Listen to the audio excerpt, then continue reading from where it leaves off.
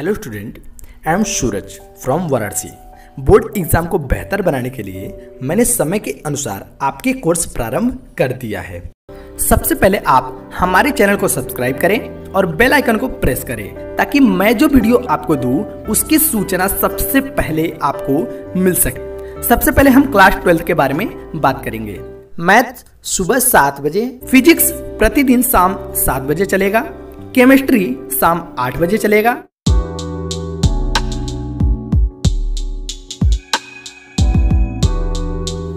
Hello दोस्तों. Good morning class twelfth NCERT संबंध तथा फलन. प्रश्नावली आज बताएँगे वन डी हरस्वरूप शर्मा द्वारा ये पढ़ाया जा रहा है. जो लेखक हैं, वो हरस्वरूप शर्मा से ही हम वीडियो बना रहे हैं. जिसको बालाजी का चाहिए, वो कमेंट करके बताएँ. अगर ज़्यादा से ज़्यादा बच्चे रहेंगे तो बालाजी से हम बनाना शुरू कर देंगे. लेकिन हरस्वरूप शर्मा से ज़्यादा से ज़्यादा बच्चे, इसलिए मैं इससे बना रहा हूँ. और इसके पहले चंद्रशेखर दुबे से जो जो विद्यार्थी अगर पढ़ रहे हैं उनका वीडियो मैं बना दिया हूँ 1.1 से 13 प्रश्नावली तक वीडियो बना दिया हूँ। डिस्क्रिप्शन में उसका लिंक दिया गया वहाँ से क्लिक करके पूरी वीडियो देख सकते हैं। तो चलिए शुरू करते हैं आज के प्रश्नावली को। प्रश्नावली वन डी इसको शुरू करने से पहले हम आपको तीन क्वेश्चन और डिस्कस करेंगे, जो पीछे मैंने छोड़ा हुआ था, जो कि चित्र के लिए था। जितने भी विद्यार्थी अगर कंटिन्यू देख रहे होंगे हमारी वीडियो को तो उनको समझ में आ जाएगा कि कौन कौन सा मैं क्वेश्चन छोड़ा हुआ था। तो चलिए पहले उसको कवर करेंगे तीन क्वेश्चन उसके बाद हम वन डी को बताएँगे। तो प्रश्नावली वन ए में क्वेश्चन नंबर पाँच मैंने छोड़ा हुआ था। प्रश्नावली वन ए में क्वेश्चन नंबर पाँच मैंने छोड़ा हुआ था, निम्नलिखित बिंदुओं के समुच्चयों का चित्र खींचो। ये चित्र था x y colon x greater than zero और दूसरा था x y colon x less than zero. ये दो क्वेश्चन था, इसका चित्र बनाना था, ये क्वेश्चन मैंने छोड़ रखा था। चलिए इस क्वेश्चन को मैं कवर करता हूँ, फिर आगे हम बता देते हैं। तो देखिए, सबसे पहले पहला, x y colon x greater than zero देखिए एक्स ग्रेटर देन ज़ीरो है मतलब ज़ीरो से ये वैल्यू क्या है? बड़ा है। कौन कौन सा? एक्स और वाई और ये दोनों को दोनों पॉजिटिव में है प्लस में है।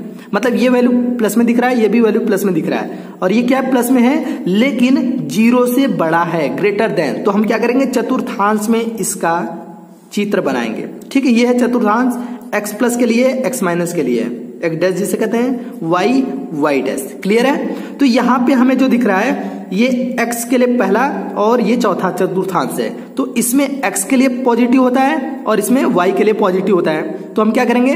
x के लिए और y के लिए पॉजिटिव इसमें होता है और यहाँ पे हमारा निगेटिव होता है। ठीक है? तो क्या करेंगे? ये छायांकित हम भाग करेंगे। ठीक है? इस तरह से, यहाँ से ऐसे आप खींच सकते हैं। तो इसका जो फिगर होगा, चित्र होगा, वो कुछ इस प्रकार से होगा। किसका? X y colon x greater than zero जिसका चित्र ये होगा। अब बात करें उसका सेकंड का। वही चीज़ें है ग्रेटर देन के स्थान पे लेस देन अगर आ जाए। तो लेस देन अगर आ जाए तो ये जो मैंने छायांकित भाग किया था, ये छायांकित भाग उठकर इस साइड चला जाएगा। कैसे? समझ लीजिए। ये चतुर्थांश है। यहाँ पे x x dash y y dash तो ये जो छायांकित भाग है, वो इधर चला आएगा। ठीक है? ये हो जाएगा इस क्वेश्चन का चित्र। तो यहाँ पे मैंने दो क्वेश्चन जो छोड़ा हुआ था उसको कवर कर लिया। चलिए और कौन सा मैं छोड़ा हुआ था उसको मैं कवर कर लेता हूँ। प्रश्नावली वन बी। वन बी में क्वेश्चन नंबर तीन का पहला मैंने क्वेश्चन छोड़ा हुआ था। क्या था? इस संबंध को एक तीर आरेख द्वारा दर्शाइए। तो ये भी क्वेश्चन मैंने छोड़ा हुआ था। जो पूरा नहीं कर पाए उसको मैं इस को अभी मैं क्लियर कर देता हूँ। उसके बाद हम आगे बढ़ेंगे। तो देखिए क्वेश्चन था ए का मान दिया गया था और आर का मान हमें दिया गया था। तो इसी को बोला था, इस संबंध को एक तीर आरेख द्वारा समझाइए। तो सबसे पहले क्या करेंगे, यहाँ पे जो हमारा एक संबंध दिख रहा है, ठीक है? Y बराबर एक्स प्लस वन तो ये जो वैल्यू है, पहले हम वन रखेंगे तो हमारा एक मान आएगा। दो रखेंगे, तीन रखेंगे, इस तरह से रख कर पहले मान ज्ञात करेंगे। तो x बराबर अगर हम वन रखते हैं तो क्या हो जाएगा? Y बराबर y बराबर one plus one one plus one बराबर के टू आ जाएगा। मतलब अगर मैंने वन रखा तो टू आ गया। इसी तरह से अगर x बराबर टू रखेंगे तो y बराबर टू अ प्लस वन बराबर के थ्री आ जाएगा। जिसे हम कहेंगे टू और थ्री इसी प्रकार, लिख सकते हैं आप यहाँ पे इसी प्रकार। जो हम वैल्यू रखेंगे, जैसे अगर हम वन टू रख दिए, अब थ्री रखेंगे तो फोर आएगा फोर रखेंगे तो फाइव आएगा सिक्स रखेंगे तो सेवन आएगा। इस तरह से मैंने सिक्स तक रख लिया, जो कि हमें ए मान के लिए सिक्स तक दिया गया है। तो यहाँ पर तो मैंने रख लिया। अब इसको हमें क्या बताना है? एक तीर आरेख द्वारा बताना है। तो चलिए तीर आरेख द्वारा हम बता देते हैं। देखिए one two three four five six ये किसके लिए है? ये है प्रांत के लिए। दो चीज़ें था, एक प्रांत था और एक क्या था? परिसर था। तो प्रांत मैंने एक से छह तक ले लिया। देखिए कैसे? वन, टू, थ्री, फोर फिर यहाँ पे फाइव लेंगे तो ये सिक्स हो जाएगा, सिक्स लेंगे तो सेवन, ये छोड़ा हुआ था। तो प्रांत तो मैंने एक तरफ़ ले लिया, इसको ले लेते हैं एक सर्किल में, और एक ले लेते हैं परिसर के लिए। परिसर। परिसर क्या है? दो, तीन, चार, पाँच छ सात। ये है परिसर के लिए। अब इसको एक तीर आरेख द्वारा बताना है तो हम क्या करेंगे? तीर आरेख द्वारा बताएँगे। जैसे दो को दो के साथ लेंगे क्लियर है? तीन को तीन के साथ, चार को पाँच को छ को। ये एक तीर आरेख द्वारा इस तरह से हो जाएगा, ठीक है? इसमें वन भी इंक्लूडेड था। तो यहाँ पे ये हो गया तीर आरेख द्वारा जो जो चित्र बनाना था, वो मैंने चलिए, यहाँ से आज का वीडियो बनाया जा रहा है, प्रश्नावली वन डी सबसे पहले आपको इसमें पढ़ना क्या है? किसमें? वन डी में जो आपको पढ़ना है, वो पढ़ना है स्वतुल्य संबंध। स्वतुल्य को इंग्लिश में क्या कहते हैं? स्वतुल्य को कहते हैं रिफ्लेक्सिव रिलेशन ठीक है मैं यहाँ पे लिख देता हूँ। रिफ्लेक्सिव रिलेशन ये है स्वतुल्य संबंध। अगर ये चीज़ें समझ जाते हैं तो प्रश्नावली वन डी पूरी तरह से आप कंप्लीट कर लेंगे। तो चलिए सबसे पहले बताएँगे कि स्वतुल्य संबंध कब होगा और इसकी परिभाषा तो इसकी परिभाषा है समुच्चय ए पर। संबंध आर इस प्रकार हो कि ए का प्रत्येक अवयव स्वयं से आर द्वारा संबंधित हो। नहीं समझ में आ बातें? चलिए इसको एग्ज़ाम्पल के माध्यम से हम समझाने की कोशिश करेंगे। तो स्वतुल्य संबंध तभी कहलाएगा। मतलब देखिए ए पर कोई संबंध हो तो आर इस प्रकार परिभाषित होगा कि ए का प्रत्येक अवयव क्या हो? स्वयं। स्वयं से आर द्वारा संबंधित हो, तभी वो स्वतुल्य होगा। तो स्वतुल्य को हम क्या करेंगे? एग्ज़ाम्पल के माध्यम से समझेंगे। जैसे एग्ज़ाम्पल से समझेंगे कि x बराबर वाई क्या ये स्वतुल्य है या नहीं है? ठीक है? क्वेश्चन क्या है? कि x बराबर वाई क्या ये स्वतुल्य है या नहीं है? तो चलिए इसको हम बता देते हैं जो परिभाषा था कि स्वयं से आर हमारा होना चाहिए। क्या? आर क्या होना चाहिए? संबंधित होना चाहिए। जैसे x का मान y के बराबर है तो y का मान y के बराबर रख सकते हैं, क्योंकि x का मान y के बराबर है तो मैंने x की जगह क्या रख दिया? Y रख दिया, और y का ऑलरेडी मान है। तो y बराबर y या तो x बराबर x कर लीजिए तो स्वयं से क्या है वो? अगर बराबर हो, तभी वो स्वतुल्य होगा। क्लियर है? अगर मान लीजिए यहाँ पे हम लेते हैं, कुछ और ले लेते हैं। मान जैसे हम चेंज करके लेते हैं, और उसको बताते हैं कि क्या वो स्वतुल्य होगा या नहीं। जैसे ए ग्रेटर देन बी तो ए ग्रेटर देन बी तो है। क्या b ग्रेटर देन ए होगा। ये तो होगा, लेकिन बी लेस देन ए होगा। देखिए, ये स्वतुल्य होगा, लेकिन ये स्वतुल्य नहीं होगा। अभी भी बहुत सारे आपके पास डाउट होंगे तो उस डाउट को हम क्लियर करेंगे वन डी के प्रश्नावली में। तो चलिए, वन डी का जो प्रश्नावली है, जितने भी क्वेश्चन है, हम उसको शुरू करते लगाना, उसमें सारे के सारे डाउट आपके क्लियर हो जाएँगे। पहले क्वेश्चन से शुरू करते हैं। तो ये है पहला क्वेश्चन पहले क्वेश्चन में करना क्या पहले ये समझ लीजिए, निम्न में कौन से संबंध स्वतुल्य है? यही चीज़ें बताना है कि स्वतुल्य कौन से है, कौन से नहीं। तो ये पहला क्वेश्चन है कि धन पूर्णांक में ए प्लस बी बराबर नौ, क्या ये स्वतुल्य है या नहीं है? ये चीज़ें बताना है। तो सबसे पहले आप समझ लीजिए कि ए प्लस बी बराबर नौ दिया गया, ये इसको स्वतुल्य माना जाएगा या नहीं माना जाएगा? तो हम तो कहेंगे कि नहीं माना जाएगा। अब आप पूछेंगे कि क्यों? तो चलिए ये बताते हैं कि, कि ये क्यों नहीं माना जाएगा। क्यों ये नहीं माना जाएगा? ठीक है समझिए। ए प्लस बी बराबर नौ दिया गया है क्वेश्चन में। तो हम क्या करेंगे? ए प्लस बी बराबर नौ दिया गया है तो हम यहाँ पे क्या करेंगे? ए का मान ए के बराबर लेंगे। सॉरी ए बराबर बी लेंगे। ठीक है? ए का मान बी के बराबर लेंगे ताकि हम स्वतुल्य रख सकें। या स्वतुल्य को चेक कर सके।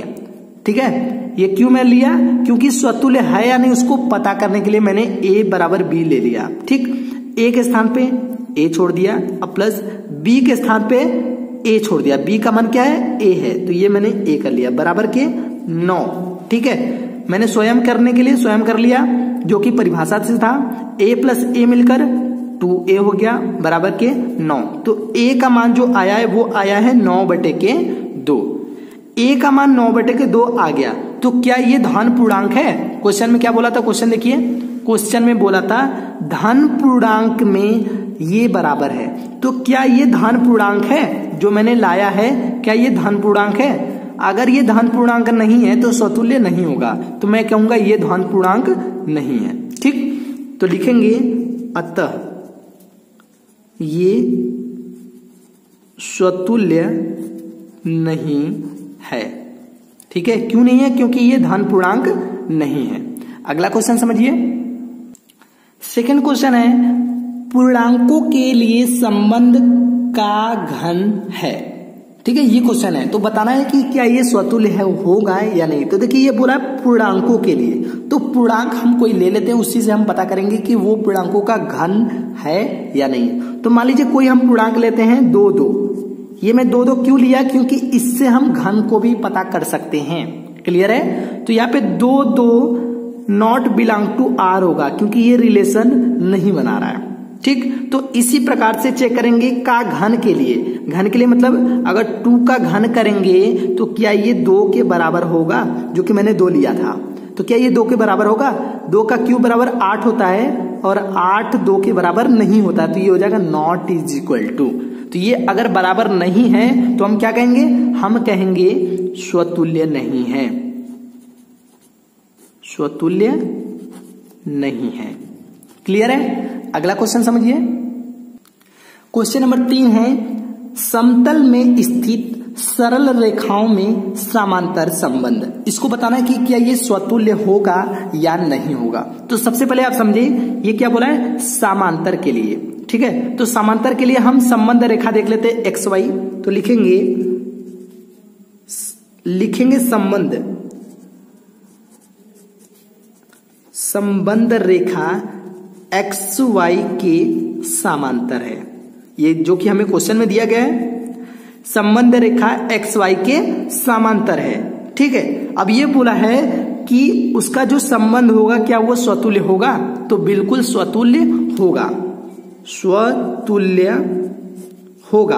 अब ये क्यों होगा? ये भी बताना ज़रूरी है। तो चलिए, क्यों होगा ये भी हम बता देते हैं। क्योंकि रेखा रेखा जो एक्स है, वो क्या है?